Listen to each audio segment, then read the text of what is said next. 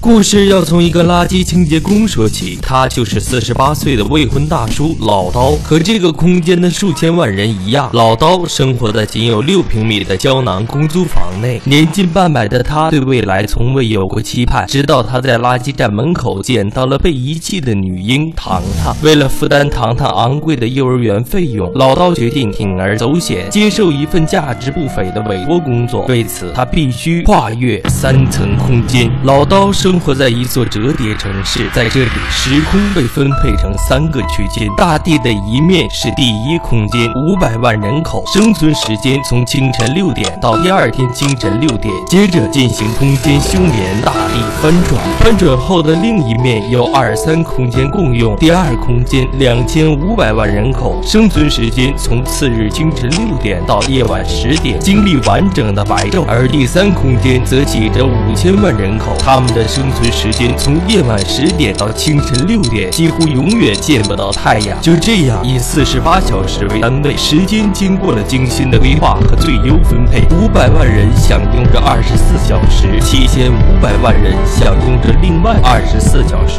如此划分的三个空间界限分明，不可逾越。而老刀要做的，便是穿越三个空间才能完成的信使任务。那是一日例行的垃圾清理。老刀从一个瓶中发现了委托纸条，虽然面临坐牢的风险，但是一次二十万的酬劳让他选择了孤注一掷。于是他决定前往第二空间与委托者见面。老刀在二三空间唯一的连接处垃圾道里躲了一昼夜，终于等到了第二空间敞开。他按照纸条上的地址找到了委托人研究生秦天。在宽敞的四人宿舍内，老刀得知秦天在第一空间实习时与一漂亮女孩相恋，她就是一言。为了与一言长相厮守，他委托老刀将求婚信物传给一言，期望能得到他的回应。听罢委托原因，老刀担心二十万。万的委托费对于还没毕业的秦天来说是一笔巨款，但却被告知那只是他实习两个月的工资。对比自己一月一万的工资标准，老刀看到差距，可他什么也没说。夜晚十点一到，他还要回到垃圾站上班。为了完成任务，他需要进行一次真正的空间翻越。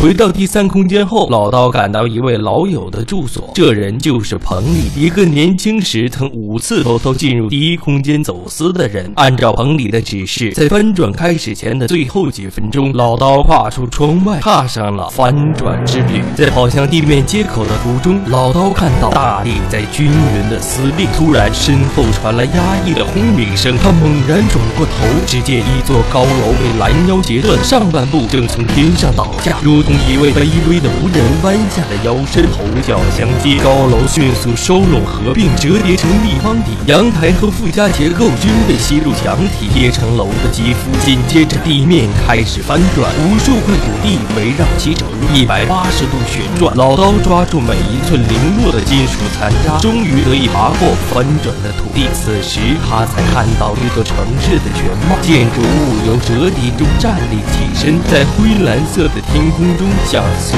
醒的兽类，城市孤岛在橘黄色的晨光中落位展开，站定，腾起弥漫的灰色苍云。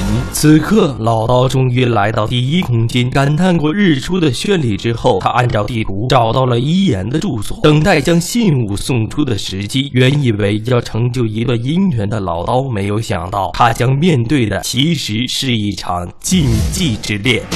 不消片刻，老刀便等到一言现身，却发现她已经结婚，丈夫是中年男人吴文，但一言却承认自己爱上了秦天。于是他用十万元贿赂老刀，帮他隐瞒已婚的事实。老刀本想拒绝，可一言这一星期的薪酬可以交上糖糖几个月的托费，他只能安慰自己，也许将来一言真的可以放下一切与秦天在一起。但是已经变成了一个男人附属品的一。一言，真的可以离开华美的牢笼，面向未知的世界吗？尽管心怀忐忑，老刀还是收下钱并完成了任务。在返回途中，他被机器人识破身份，险些坐牢。所幸一位年长者出手相救，那人正是出身于第三空间的老葛。此时他已是第一空间后勤保障的负责人，因为老刀同样来自第三空间，老葛便对他关照有加，并在晚上带他出席了折叠城市五十周年的庆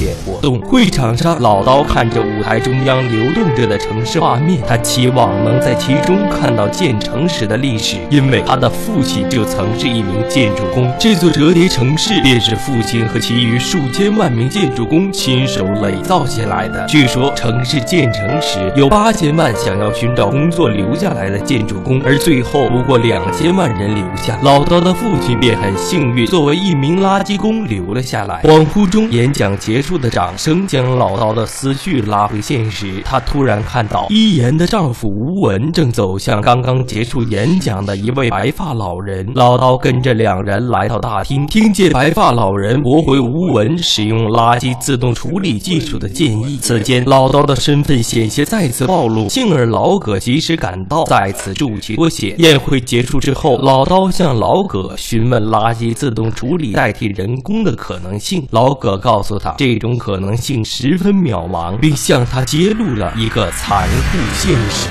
生产力一经改造，GDP 上升的同时，失业率也在升高，大量的人被闲置在家，他们不再被社会需要。因此，为了社会的稳定，最好的办法就是彻底减少这些人的生活时间，把他们塞进夜里劳作，隔绝了阳光的同时，也隔绝了通货膨胀。他们的劳动可有可无，他们既不参与经济建设，也不分享经济红利，只需要用廉价的食品喂饱自己，任其自生自灭。这就是第三空间存在的真相。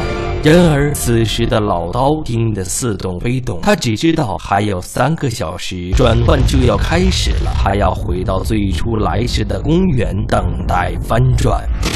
清晨四点，因为吴文的疏忽，大会宣言需要重新印刷。白发老人命令推迟转换。六点十分，转换开始。六点二十分，白发老人发现吴文将重要文件遗忘在会场，下令停止转换。此时，老刀正在斜面上慢慢挪移，忽觉土地停止移动，接着已错开的土地忽然合拢，他吓了一跳，连忙向回攀爬。然而，两块闭合的土地还是夹住了他的小。对此时的老刀或许不会意识到，他现在正如一只飞虫，一出生便被决定了一世为虫的命运，从此生死由他不由我。现在他的命运就被不知情的白发老人随意排到了地里。